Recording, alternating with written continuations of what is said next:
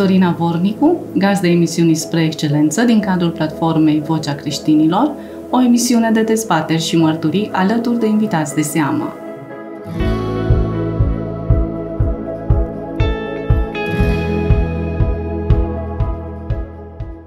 Salut comunitatea Vocea Creștinilor! Sunt Dorina Vornicu și mă bucur să vă am din nou alături de mine în cadrul emisiunii spre excelență.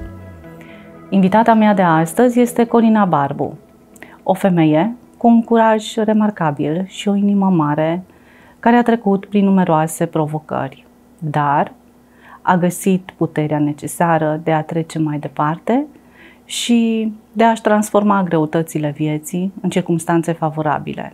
Prin povestea ei personală, Corina ne va împărtăși lecții valoroase despre reziliență, perseverență și dragoste de viață. Corina, bine ai venit! Bine v-am găsit! Mulțumesc de invitație!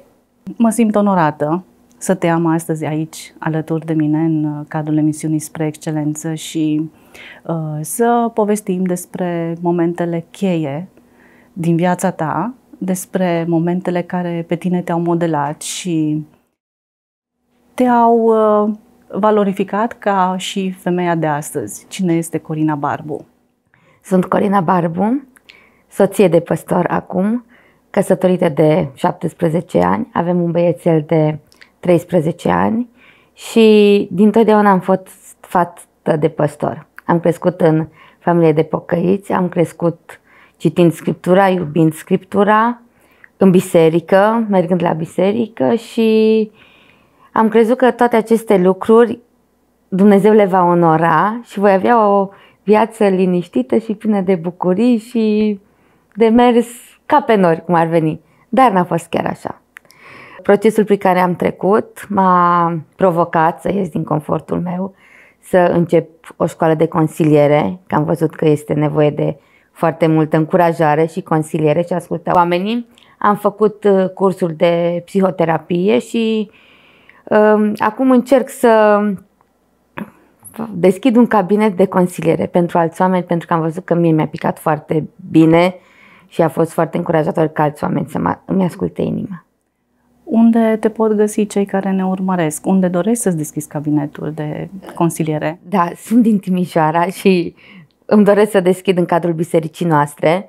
Pe Facebook mă găsesc ca și Corina Barbu, deocamdată. Nu am încă curajul să fac ceva mai oficial, deși sunt încurajată, dar pe, sub numele de Corina Barbu mă pot găsi în Timișoara, pe calea Torontalului numărul 61, acolo mă gândesc. Da. Există o vreme pentru, pentru fiecare lucru da. și Dumnezeu onorează să facem lucrurile la momentul potrivit, momentul ales de El. Corina, tu astăzi uh, ai venit în cadrul uh, emisiunii cu ceea ce tu deja ai avut curaj ca să pășești uh, prin credință și ai venit uh, însoțită de jurnalul tău. Uh, recent, uh, la editura Marile Cărți, uh, tu ai uh, scos cartea Curaj, inimă dragă. Vom discuta despre această îndrăzneală a ta uh, pe care ai avut-o uh, de a scoate această carte, de a tipări această carte. Însă, Înainte de a vorbi despre carte, aș vrea să ne vorbești puțin mai multe lucruri despre tine din copilăria ta. Cum ai ajuns tu în punctul în care ai pășit prin credință și ai tipărit acest jurnal? Așa cum am spus, am crescut în familie de pocăiți. Părinții mei m-au dus la biserică și mie mi-a plăcut foarte mult scriptura din totdeauna. În mod special Vechiul Testament – în care citeam povestirile, povestirile acelor oameni mari care au mers prin credință. Și întotdeauna mi-am dorit să am și eu ce povesti și să nu trăiesc degeaba pe acest pământ. Sunt foarte faine povestirile, sunt foarte faine finalurile, doar că uităm de procesul între început și final. Și mi-am dorit întotdeauna să pot să am ce povesti, dar niciodată nu m-am gândit ce urmează să fie.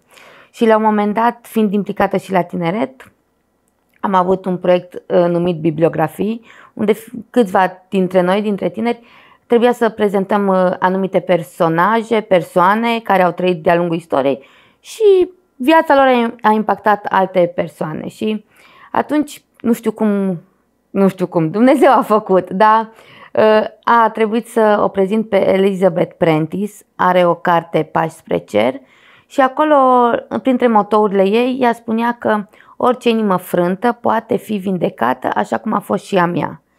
Atunci când întâlnim un om cu inima frântă, nu putem să-i povestim despre Dumnezeu și să îl învățăm să servească pe Dumnezeu, indiferent de care este voia lui Dumnezeu pentru persoana aceea. Și atunci motoul acela mi-a rămas în minte, acum vreo 20 de ani mai mult. Și tot timpul mă întorceam din când în când la acel moto. Și acum am dau seama că și inima mea a fost frântă, foarte frântă, dar doar Dumnezeu a vindecat-o.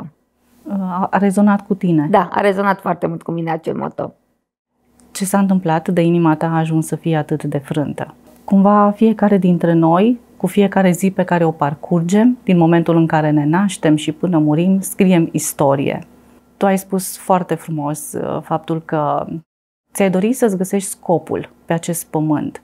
Și scopul nostru, ca și oameni, ca și copii al lui Dumnezeu, este să aducem împărăția Lui aici pe pământ, doar că trebuie să ne găsim uh, modalitatea prin care împărăția Lui este vizibilă.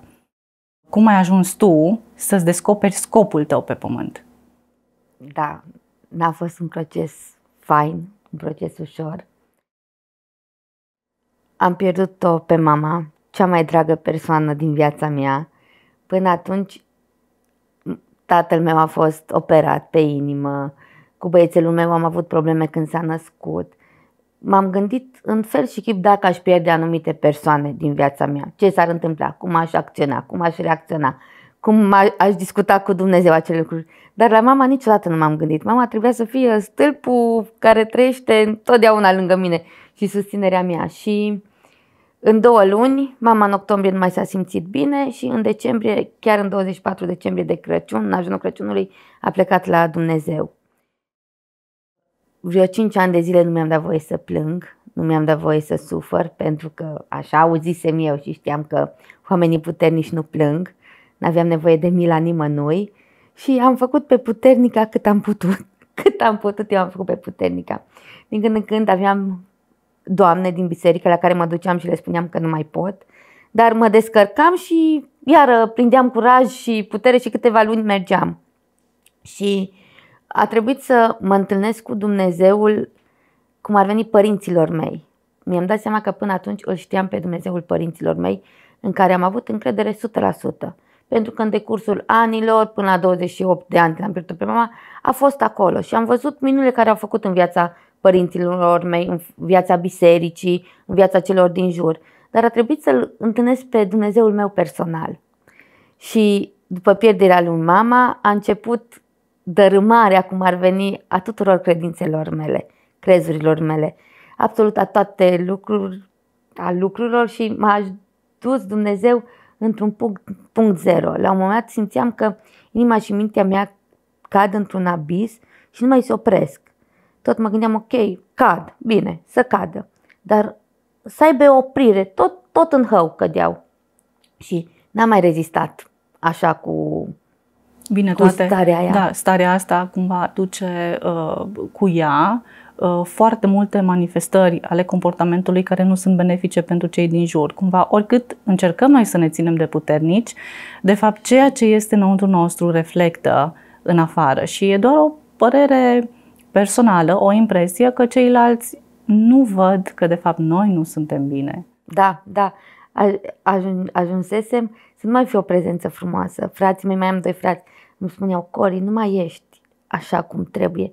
Persoanele așa apropiate de inima mea care își permiteau să-mi zică lucruri făceau, tu nu te mai bucuri de viață. Nu mi se părea normal să mă bucur de viață fără mama alături. Mi se părea cum ar veni că o înșel sau nu știu cum, că nu sunt fidelă. O trădare? O trăd- da, o trădez pe mama dacă eu continui să mă bucur de viață. Deși dacă mama ar fi trăit, zicea Cori, asta este, bucură-te de viață, fi o inspirație pentru alții, mergi mai departe, iubește-L pe Dumnezeu, dar nu puteam, că mi se, eram atât de dedicată. Nu aș, nu aș vrea să mergem mai departe. Așa, da. tu ești singură la părinți ca și persoană feminină? Da, sunt și cea mai mare. Și a trebuit mi-am asumat rolul mamei să am grijă de frații mei mai mici. Acum nu mai sunt mici, că sunt fiecare la casa lor și cu copii.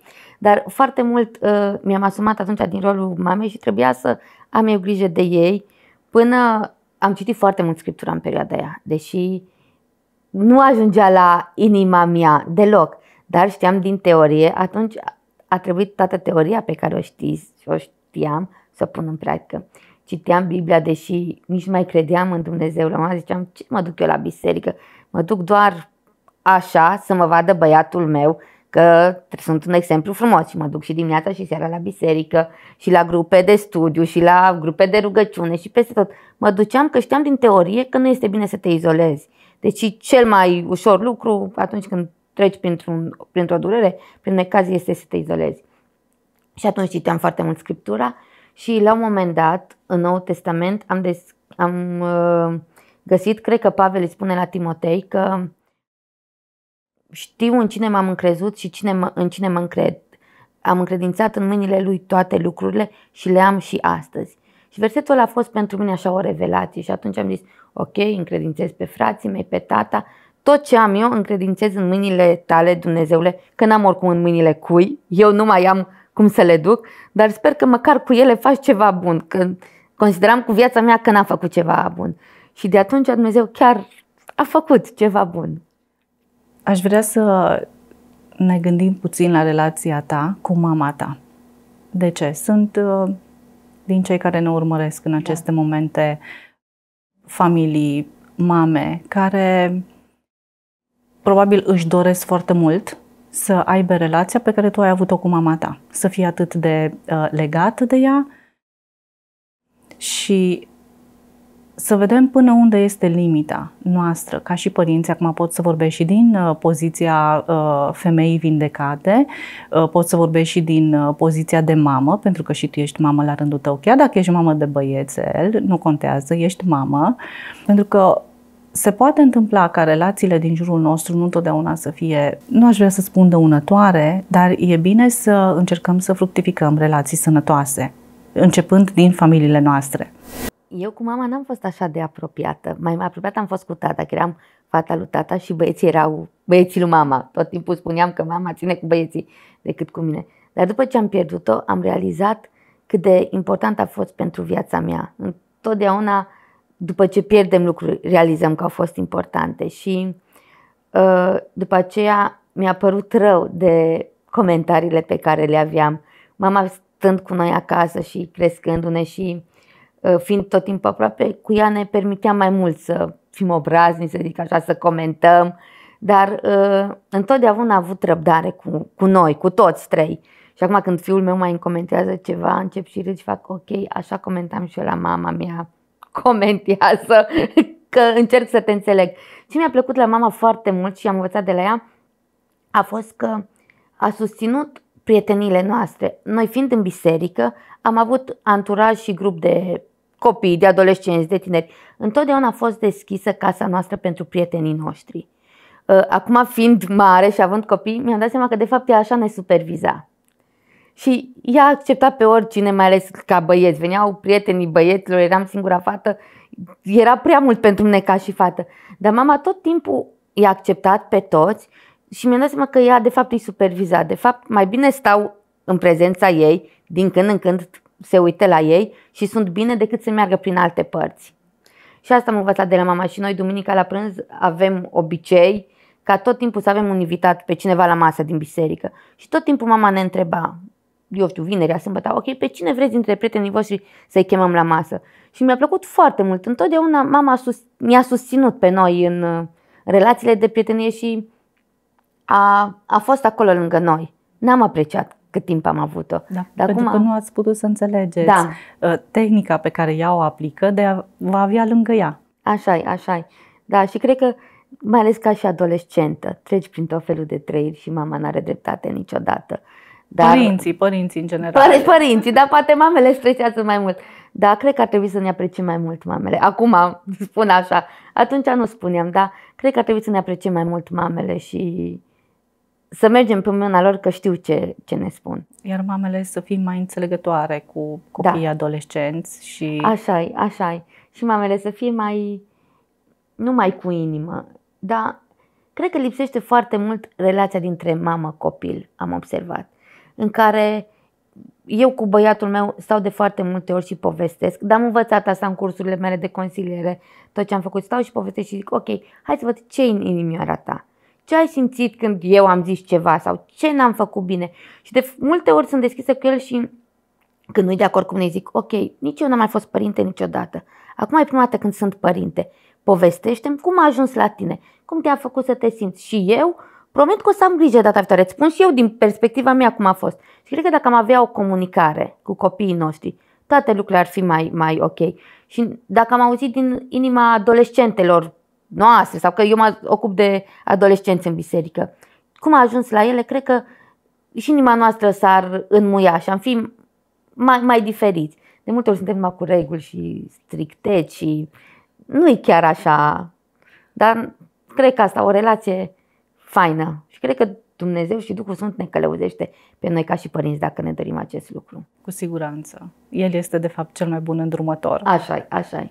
Ce s-a întâmplat în năuntrul tău în momentul în care, într-un timp atât de scurt, mama ta a plecat acasă? Cum ai uh, trecut tu prin perioada, perioada de doliu? Pentru că știu că asta e ceea ce pentru tine a fost foarte greu și sunt multe persoane în jurul nostru care adoptă poziția pe care tu ai adoptat-o. Trebuie să fii puternic, nu neapărat dacă plângi înseamnă că ești slab, uh, dar uh, pentru că ne gândim foarte mult la cei din jurul nostru, la impactul pe care îl putem avea dacă noi suntem într-o groapă, e ca și când, exact cum ai spus tu, ei sunt a nimănui, dar de fapt Dumnezeu are grijă de noi, de toți. Uh, și atunci, cum uh, ai trecut tu prin perioada de doliu? Uh, așa cum am spus, nu mi-am permis să, nu mi-am permis să plâng și au început ani de certuri cu Dumnezeu. Nu-i prea mult să zic că a fost ani de certuri cu Dumnezeu, ani de... O formă de răzvrătire? Da, de, de proteste, din partea mea față de el. Și, dar în tot acest proces al meu interior, continuam să merg la biserică.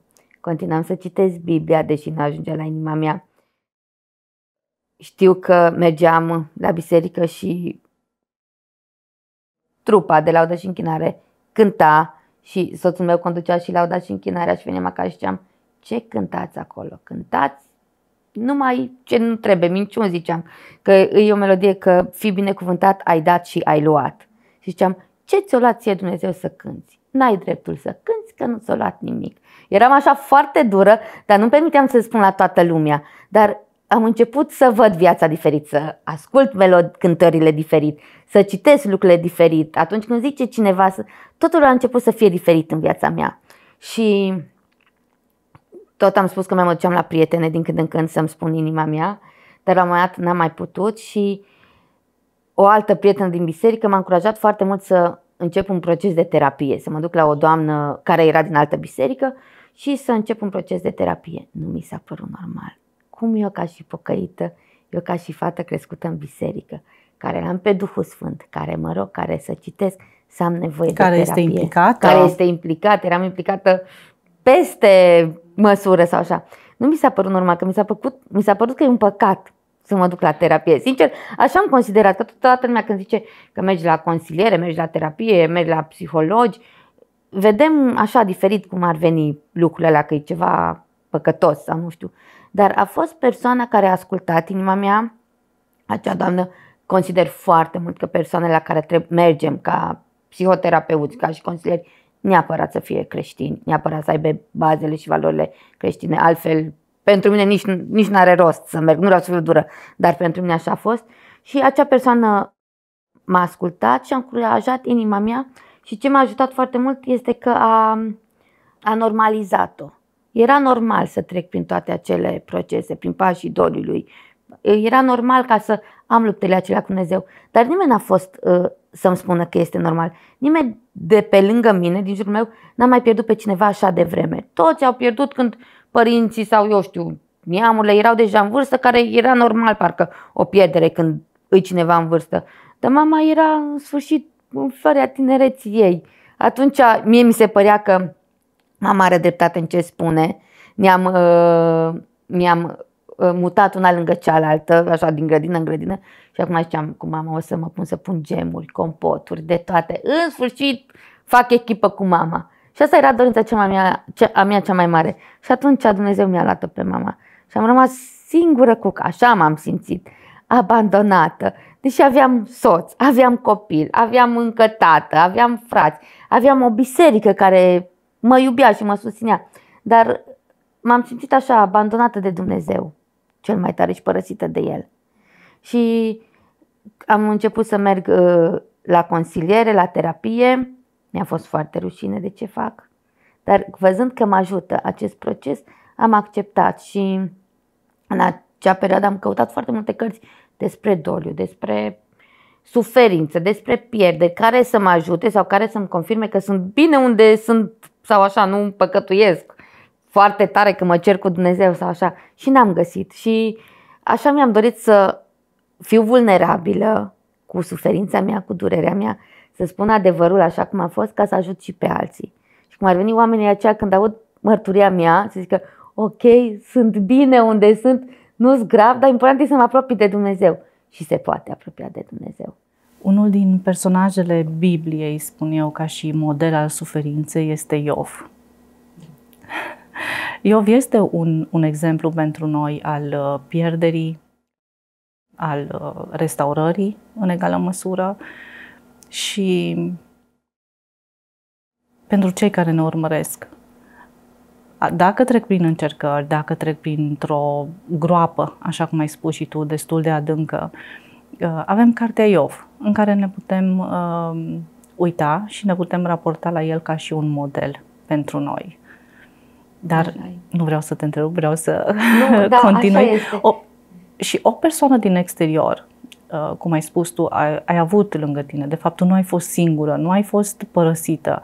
Deși pentru tine mama a constituit cumva universul tău, cu toate acestea a fost nevoie de o persoană din exterior care uh, să poată să vină și să îți ofere un sprijin. Sau Dumnezeu găsește cu cale, inclusiv prin persoane uh, care se pun la dispoziția lui, să îi ridice pe cei în nevoie. Ai spus de Iov și Iov mie mi-a plăcut și îmi place și am văzut că Dumnezeu restaurează viața unei persoane, dar eu foarte mult m-am asemănat cu Iona pentru că protestam. Mult protestam, mult comentam, mult uh, eram avocat apărării vieții mele, să zic așa, mi se părea normal. Și în tot procesul meu eu vedeam că Dumnezeu rămâne credincios cu lucruri mici. Dumnezeu rămânea credincios și nu vreau să accept dragostea Lui, nu vreau să accept bunătatea Lui, nu mi se părea normal.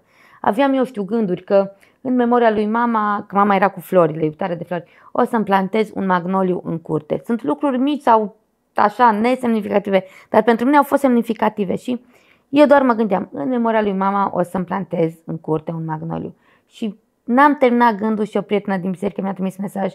Cori m-am gândit în memoria lui Cheții, că așa chema pe mama, așa îi spuneam. În memoria lui Cheții, n-ar fi fain să-ți plantezi un magnoliu? Făceam, nu, n-are cum. Făceam, nu, nu accept. Eu știu, tot felul, iar în memoria... L-ai plantat?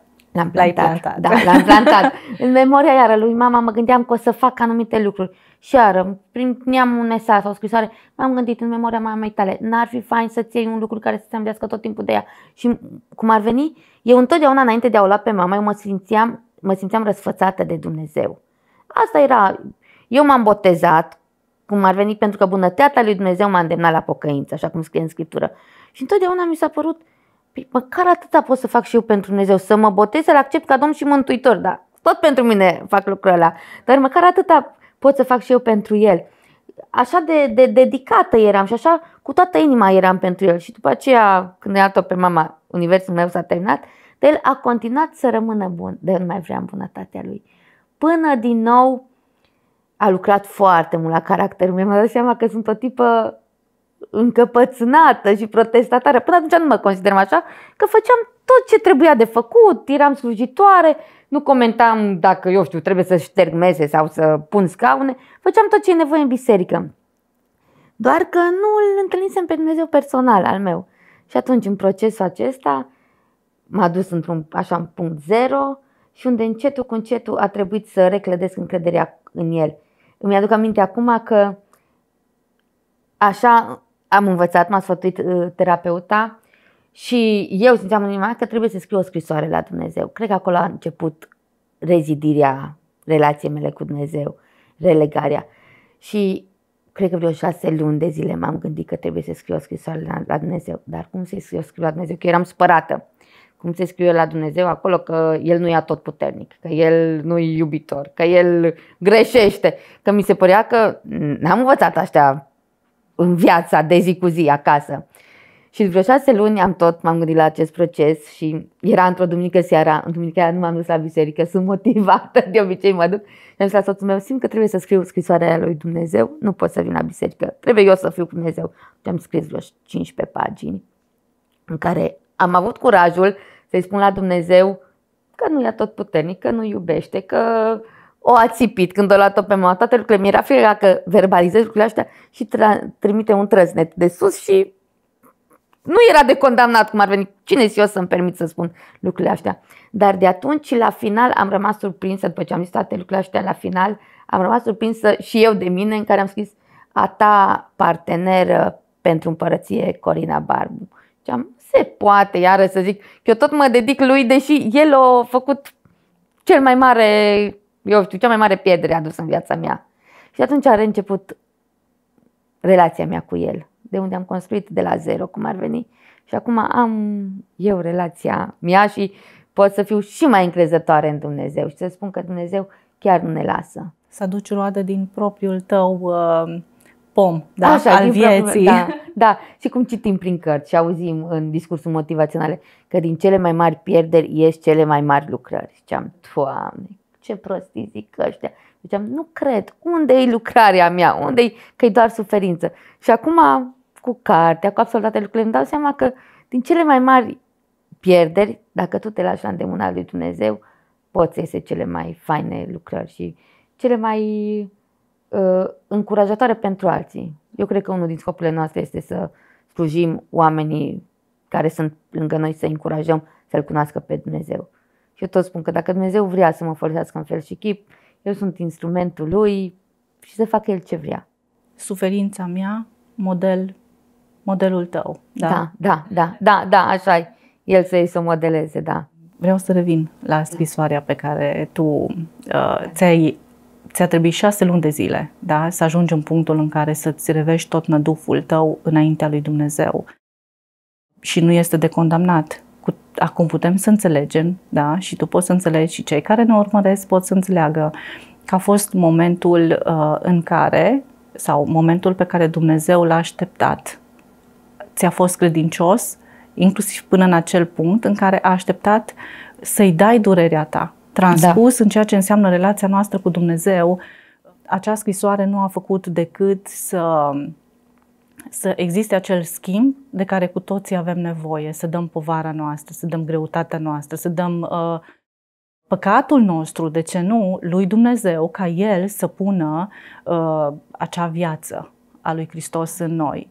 Și dacă pot să fac această comparație, să zic eu, în momentul ăla în care tu te-ai pus uh, ca și sămânță în pământ și ai ales să mori da? da. ca să învii, uh, orice să spun, orice fruct da? sau orice legumă care este pusă, o mică sămânță în pământ și vedem la momentul uh, recoltei câte roade și câte semințe la rândul ei aduce. Acea, acel rod, acea sămânță micuță pusă în pământ și cumva mă uit la tine și asta e ceea ce eu pot să văd în acest moment. Uh, o mică sămânță care, dacă a ales să moară pentru Hristos, nu a avut parte de, decât de acel schimb al vieții și în prezent aduce roade. A murit din toate punctele de vedere. Și cum am spus că mă raportez foarte mult la Scriptură, Galaten 2 cu 20, că am fost răsignită împreună cu Hristos, dar trăiesc. Dar nu mai trăiesc eu, ci Hristos trăiește în mine. Și cu toată modestia și smerenia mea, cred că Dumnezeu acum trăiește în mine. Clar, suntem în proces de sfințire în fiecare e zi toată viața. când ajungem sus în cer, da. Dar cu adevărat nu mai sunt eu cea care am fost. Deși multe lucruri aveam bune sau aveam o inimă bună de slujire, de implicare, de a avea grijă viețile oamenilor. Dar acum vezi lucrurile diferit. Și faptul că am eu relație cu Dumnezeu nu mai este zidită pe relația Dumnezeul a părinților mei, pe relația mea cu Dumnezeul părinților mei, cred că este foarte important. Acum eu zic uh, că tu ai avut un mare har să crești uh, într-o casă în care părinții tăi au putut uh, să ți-l redea pe Dumnezeu. Da. Sunt uh, mulți cei care nu au acest har al tău și cu toate acestea ajung în punctul în care ești tu astăzi, da? să-L cunoască pe Dumnezeu și mai apoi să fie uh, sare și lumină pentru lumea din jurul lor. Oricare parte ar fi, vedem că dragostea lui Dumnezeu nu face decât să ne caute, indiferent în care uh, colțișor al lumii Vrem să plecăm ne aflăm. Să da, da, da, da, da. Bun, asta a fost pentru tine perioada de doliu. Ce s-a mai întâmplat? Pentru că vreau să ajungem uh, la punctul în care vom discuta despre acest jurnal. Da? Acest jurnal da. este uh, oarecum un rod.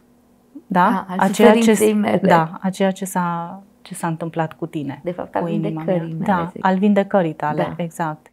Atunci când am început să merg la terapie, aveam tot felul de revelații, tot felul de insight-uri, cum ar veni, și mi-am dat seama că trebuie să le verbalizez ca să mă responsabilizeze pe mine mai mult, în primul rând față de Dumnezeu și față de mine, să mă țin de acele lucruri.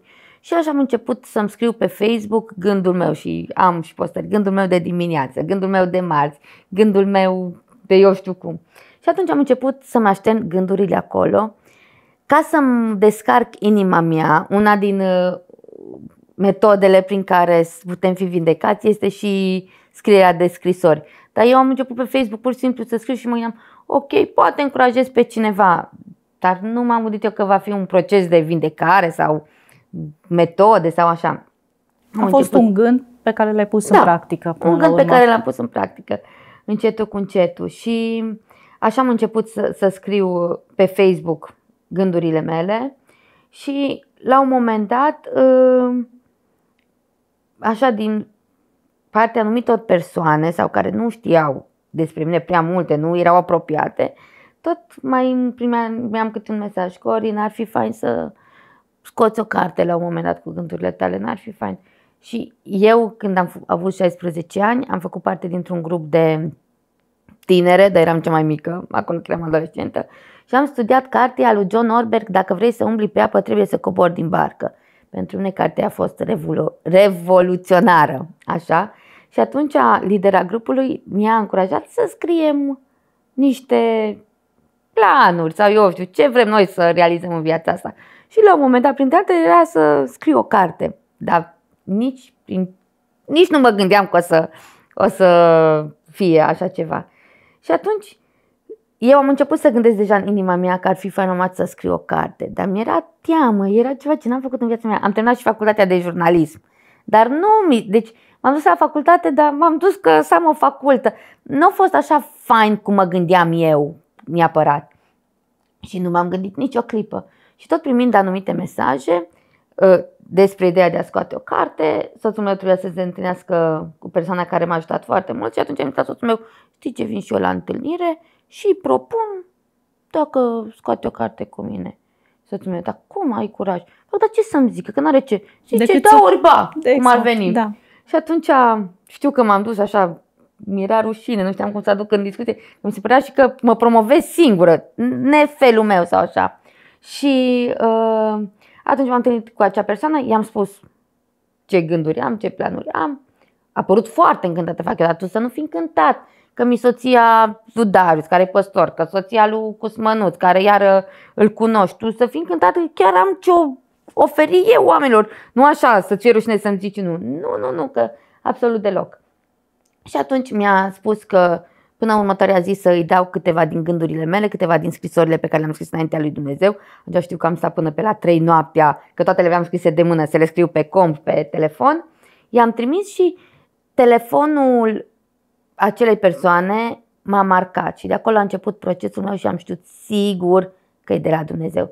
Și atunci mi-a spus persoana aceea, Corina, am citit gândurile tale, cine sunt eu ca să pun cum ar veni piatra la gura unui izvor care spune cuvinte de încurajare pentru, Dumnezeu, pentru oameni din partea lui Dumnezeu. Și acea persoană nu are o relație așa ca la noi la pocăiți cu Dumnezeu. Sau nu în modul în care gândim noi ca pocăiți, da, sau nu știu cum da, să zic. Da, da, da, da, da. Dar am simțit că nu vorbește el. Am simțit că de la Dumnezeu este. Și atunci am zis, ok, mi s-a făcut părul așa, am fost cercetată și atunci am zis, ok, ce mă fac? Am eu vorbă că dacă intri într-o horă trebuie să o joci. Până la ce capăt. mă fac? Că trebuie acum să, să încep. Și așa fain a fost procesul. A fost ca un bulgăre care l-am trimis la vale, vrând nevrând, și toate au început pas cu pas. A fost un proces atât de frumos. Tot timpul știam că nu-i lucrarea mea, știam că nu-i vorba despre mine, că e vorba despre Dumnezeu. Și atunci că ai nevoie de bani, ai nevoie de tot felul de lucruri și eram atât de liniștită. Eu de obicei meu, de obicei, felul meu este să fiu stresată, mi-e trebuie lucrurile să fie rezolvate ieri, să tot ce ține de mine, eu să fiu sigură că le fac, alții, mm-mm, nu știu dacă ești de încredere sau așa, trebuie foarte mult, sunt eu acolo să fiu prezentă. Dar în acest proces chiar am știut că e procesul Dumnezeu și am zis, e procesul tău, eu sunt doar un instrument, fă ce vrei. Știi că îmi trebuie bani să scoatem o carte? N-ai decât să faci rost de bani. Știi că eu știu ce ne trebuie, știi? Absolut toate lucrurile. Și așa frumos a lucrat iarăși Dumnezeu, pas cu pas. Și mi-am dorit foarte mult să fie... Eu nu mă gândeam în inima mea și Dumnezeu deja le împlinea. Eu m-am gândit, mi-am, mi-a plăcut foarte mult când o să fie 10 ani de la pierderea mamei mele, să fac ceva cum ar veni în memoria ei. Eu știu, o întâlnire în care să ne amintim de ea. Sau mama a fost un om foarte simplu, dar a avut foarte mult impact în, în jurul oamenilor de lângă ea sau așa, nu numai oamenii din biserică, a comunității. Ea. Și atunci mi-am dorit foarte mult și așa s-a nimerit, zicem așa, ca în decembrie, la începutul lunii decembrie, când au fost 10 ani de când am pierdut-o pe mama, să pot lansa cartea aceasta. Și mi s-a părut, uai, Doamne, ce fain ai lucrat, iar în memoria lui mama să pot să spun despre tine și cum în același timp onorez și pe mama, dar inima mea este vindecată. Și așa, eu știu, Dumnezeu m-a folosit cu această carte. Această carte, cum ai uh, gândit-o? Coperta este mov. De ce culoarea mov? Culoarea mov, uh, culoarea mea preferată îmi place foarte mult și mi se pare că este elegantă în același timp și ca și crezuri, eu cred în monarhie și respect față de rege și așa și am înțeles, am citit și mov este și culoarea monarhiei și fiind timișoriancă, iar cu movul și au fost așa foarte multe și mi s-a părut că mă reprezintă cel mai mult. Am primit mai multe modele de coperți, dar aceasta am simțit că mă reprezintă pe mine cel mai mult și uh, titlul Curaj, inimă dragă, în perioada în care eu eram necăjită și certată cu Dumnezeu, am primit un tablou de la o prietenă pe care scria curaj, inimă dragă. Și am orice, dar nu curaj. N-am nevoie de nici curaj, nu sunt nicio inimă dragă sau inimă amărâtă, necăjită, rănită, de toate. Și în cronicile din Arnia, C.S. Lewis spune ă, acolo în poveste că la un moment dat fetița spune că uh, trebuie să avem nevo- uh, trebuie să avem parte de curaj și spune curaj inimă dragă ca să da, da, da, Lucy, ca să își depășească anumite frici. Și simțeam din nou că Dumnezeu îmi vorbește, deși nu vroiam și eram în proteste non-stop, dar îl am acolo, îl țin în casă și toate postările mele de pe Facebook, când am început eu procesul meu și să scriu inima acolo, le încheiam așa, curaj, inimă dragă, Corina Barbu. De fiecare dată și puneam pe Facebook o inimioară și o uh, steluță galbenă și toată lumea m-a întrebat ce cu inimioara aia mov? Și inimioara mov și steluța galbenă. Și aveam versete biblice, că am zis, indiferent de ce fac sau ce spun, pentru mine Biblia este baza și uh, la inimioară e din Filipen 2, că dacă este așa ceva, nu deschid acum Biblia, dacă are cineva darul încurajării, darul mângâierii, darul îmbărbătării, să aveți grijă să vă încurajați unul pe celălalt, mi se părea că mă caracterizează această inimare și acest verset. Și după aia ce steluța era tot în Filipen 2, mai jos, că străluciți în univers țin, ținând sus cuvântul vieții și iar mi s-a părut acolo, e unul din preferatele mele pasaje, că să țin sus cuvântul vieții a lui Dumnezeu într-o lume pervertită și așa. Și de aceea tot timpul terminam, încheiam curaj inima dragă postările mele și de aceea am ales să, să aibă acest titlu, cartea și în uh, procesul de a scrie această carte, cred că cel mai greu a fost să fac o selecție a gândurilor mele. Toate mi se păreau faine, toate mi se păreau așa pentru viața mea cu însemnătate.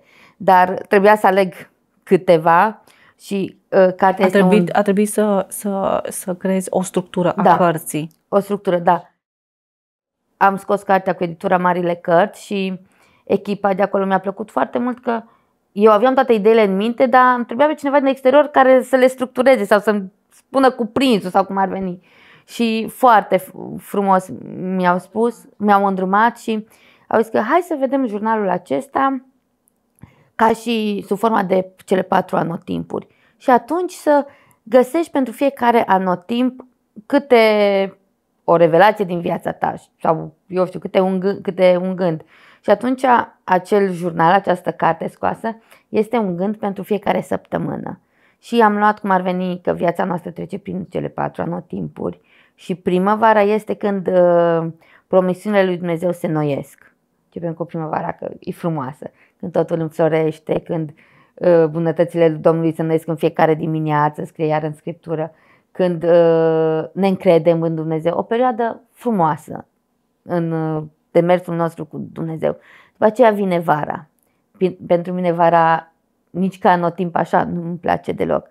E cald, sunt temperaturi ridicate, scuptoarele din viața personală prin care trecem, unde Domnul Isus ne lucrează la caracter și ne pune la temperaturi imense. Poate fi interpretat ca un deșert. Ca un deșert, da, ca un deșert unde n-ai apă, n-ai hrană, n-ai oameni câteodată pe lângă tine.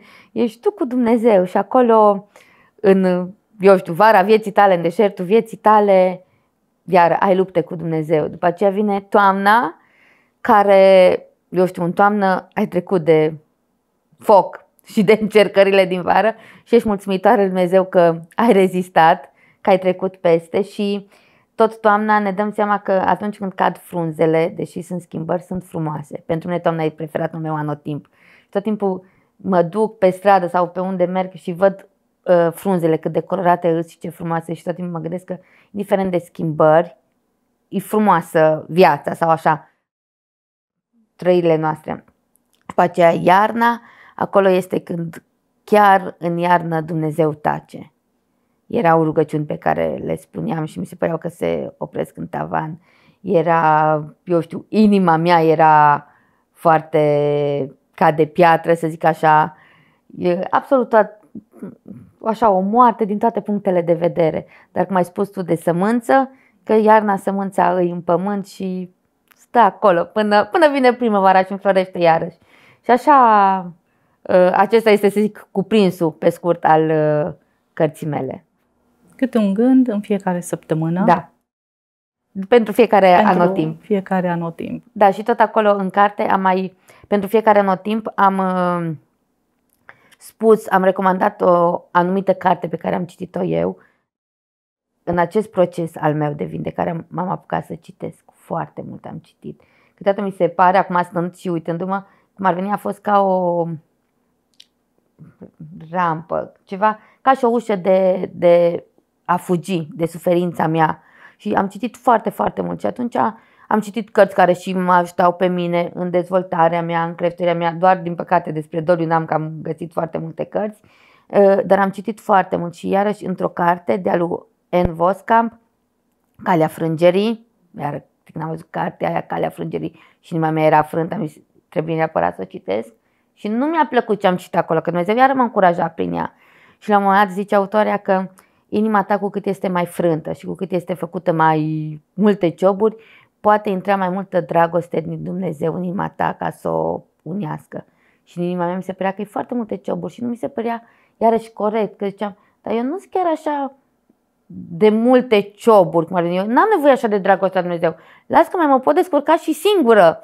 Dar Domnul Iisus m-a dus așa cum ar veni cioburi, cioburi, cioburi. Și mi-am dat seama că dragostea lui Dumnezeu a intrat în viața mea, în inima mea, prin fiecare așa, lumina dragostei lui, prin fiecare job și absolut tot și îi și imaginea aceea când îți multe cioburi și îți puse toate înapoi și cum ar veni lipite cu fir de aur.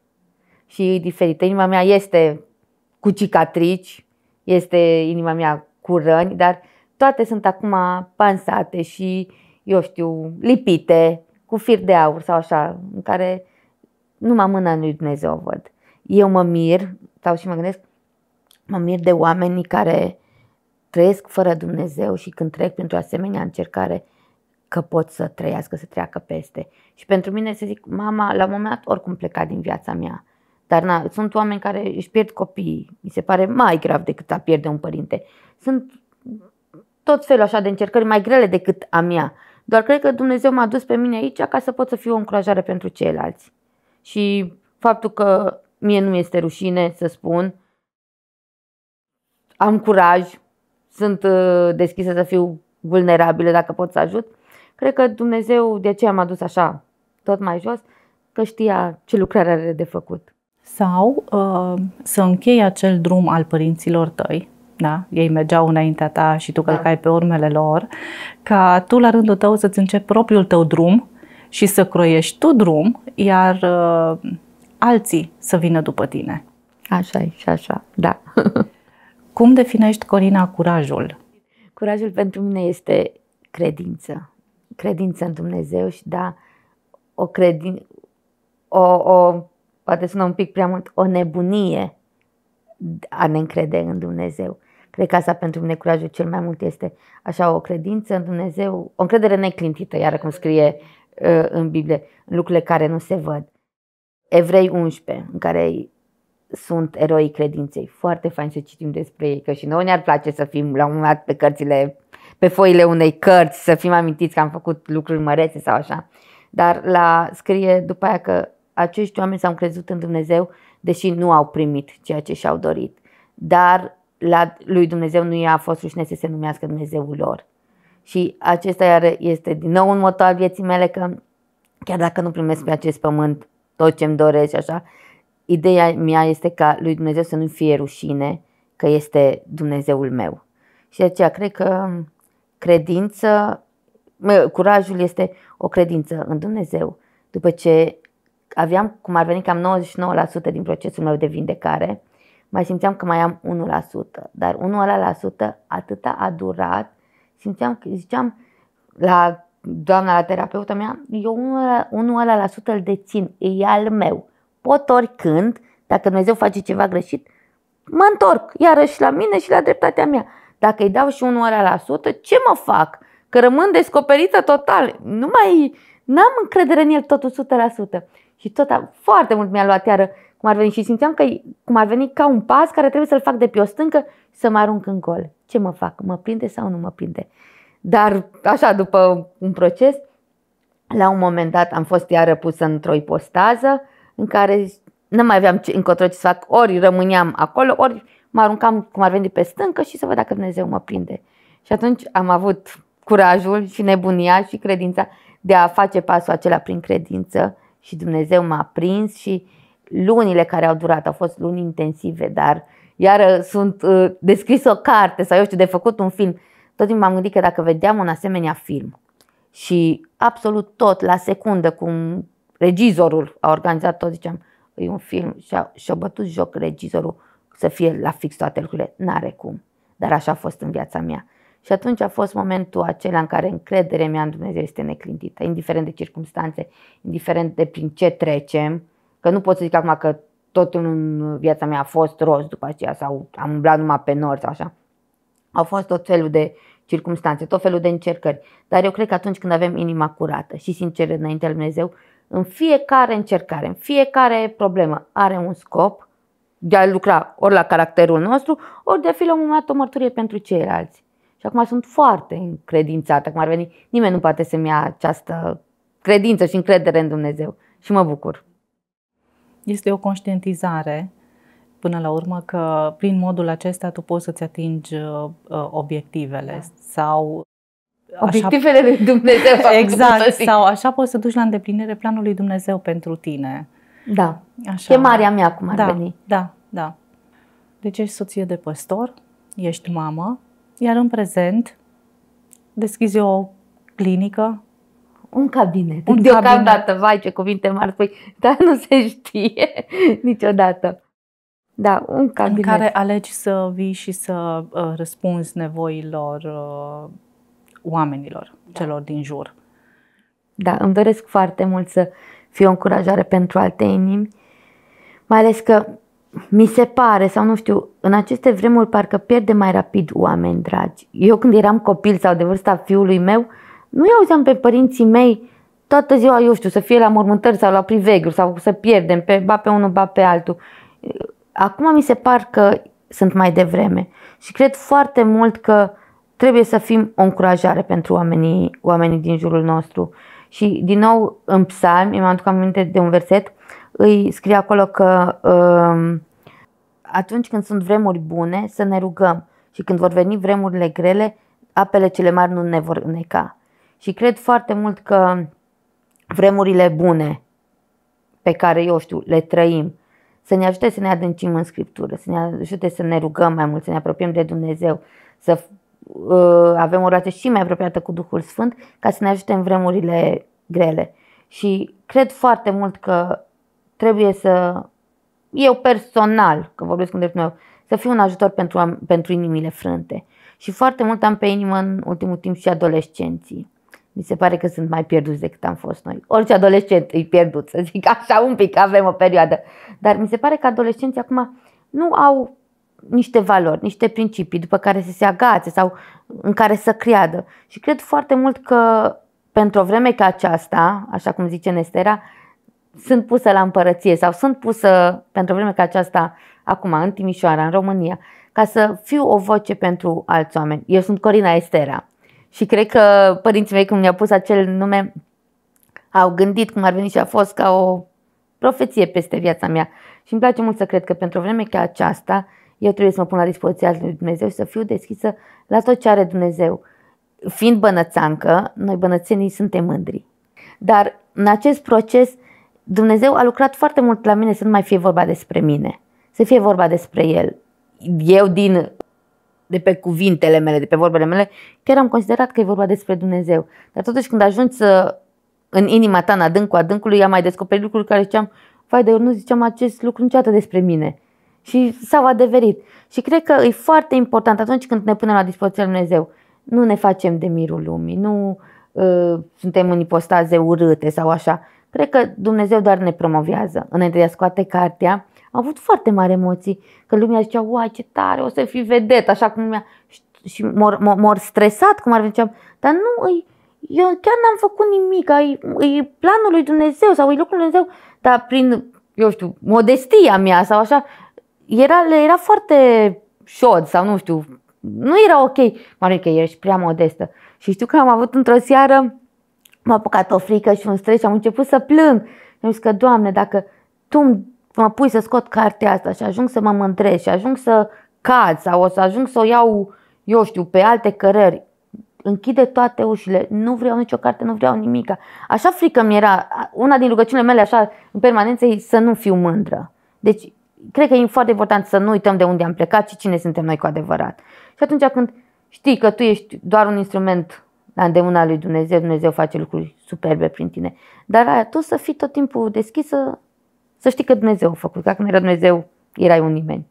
Da, să înțelegem că înainte de a ne dori noi să pornim ceva, de fapt, gândul nostru vine din gândul lui Dumnezeu și nu suntem decât niște unelte puse la dispoziția lui prin care el lucrează. Corina, mi-a plăcut să, să stăm de vorbă împreună, să aud uh, parte din uh, ceea ce a fost și este viața ta. Uh, ca și planul de viitor, intenționez să mai publici o altă carte? Da. Vara acea, aceasta, iar eu cu Dumnezeu, că e numai eu așa, eu cu el gândesc și le spun și am pus cum ar veni un semn înaintea lui Dumnezeu dacă îi să mai scot o carte sau nu. Aveam în minte iarăși materialul, dar nu cuprins sau cum ar veni, nu neapărat.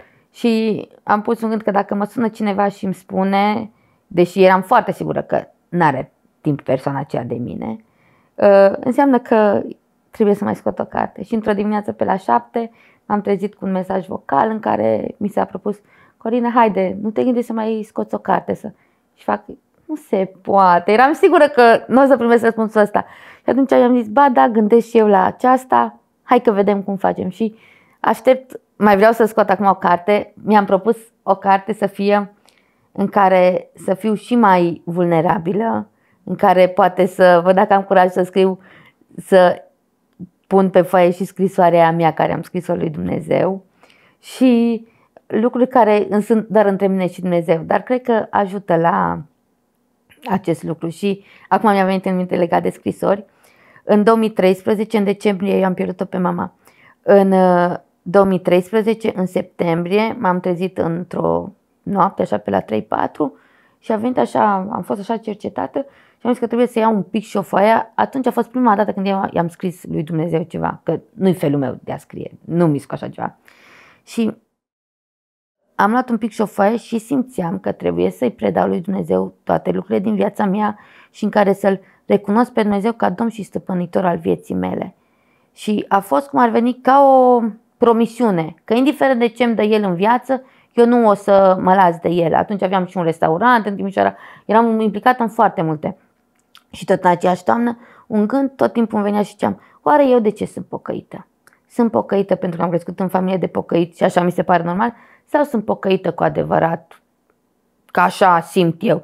Tot aia mă gândeam. Dacă Dumnezeu mi-ar dat ceva rău în viața mea, cum aș face? Mă ține de Dumnezeu sau nu mă ține de Dumnezeu? Ăsta era gândul meu în fiecare dimineață, când mergeam, mergeam la restaurant începând din septembrie până în decembrie. Și când am pierdut-o pe mama, atunci am avut așa o realizare, na, acum îi să văd practica mea, de ce mi-s pocăită sau așa. Și de acolo a început povestea. Așteptăm atunci următoarea carte, da. prin care te faci uh, mai vulnerabilă și ceea ce pot să-ți doresc e nu doar ție, îți doresc lucrul acesta și celor care ne urmăresc. Uh, credința noastră în Dumnezeu nu este legată de lucrurile materiale, indiferent de modul în care alegem să primim sau să privim binecuvântările pe care Dumnezeu le lasă în viața noastră. Dragostea Lui față de noi nu poate fi comparată cu nimic din ce este pământesc și în momentul în care vedem relația noastră cu El sau relația Lui cu noi și când înțelegem uh, acea dragoste uh, imensă pe care a avut-o față de noi și că ne dorește cu gelozie și cu ardoare în fiecare zi, uh, atunci cumva drumul nostru și angajamentele noastre pământești le putem duce la îndeplinire de pe o altă perspectivă, să spun așa. Ne este mult mai ușor să îl vedem pe Dumnezeu că este în noi, este în jurul nostru, cum ai spus și tu, îl poți percepe că îți poartă de grijă, dar în egală măsură să-l avem înăuntrul nostru. Necondiționați de lucrurile materiale. Până la urmă, ce este succesul și ce este eșecul, dacă e să privim așa. Nu?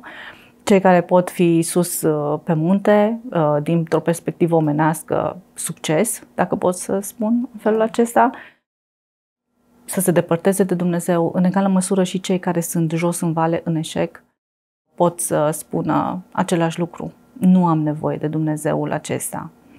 Și atunci când alegem să rămânem pe o poziție neutră, să ne sustragem din, din aceste, nu știu, uh, furtuni, le-aș putea numi, da? care sunt în jurul nostru în fiecare zi, dacă ne sustragem de acolo, îl putem vedea pe Dumnezeu până la urmă, că El este sursa noastră Uh, și dacă inima noastră mai a bătut și astăzi, e tot datorită lui. Și atunci cu recunoștință facem toate lucrurile. Și ca așa cu un gând, să închei cum ar veni, să fim siguri că nu ne-am pus încrederea în Dumnezeu doar pentru lumea aceasta. Cred că e foarte important dacă înțelegem acest lucru. Să ne încredem în Dumnezeu că toate lucrurile El le folosește la vremea potrivită, așa cum scrie și în Eclesiastul. Pentru fiecare lucru sau orice lucru El îl face frumos la vremea Lui. Așa este. Foarte, foarte bună remarca ta și foarte binevenită în, în acest context. Corina, sper să te mai am alături de mine atunci când vei scoate următoarea carte și vei veni să ne împărtășești uh, lucruri noi din ea. Eu m-aș bucura să uh, pot să am acces la acea scrisoare a ta în acel moment uh, zero, tu așa ai numit, da, acel da. moment zero în care ai ales să faci schimbul. Cumva un schimb, schimbul de la cruce.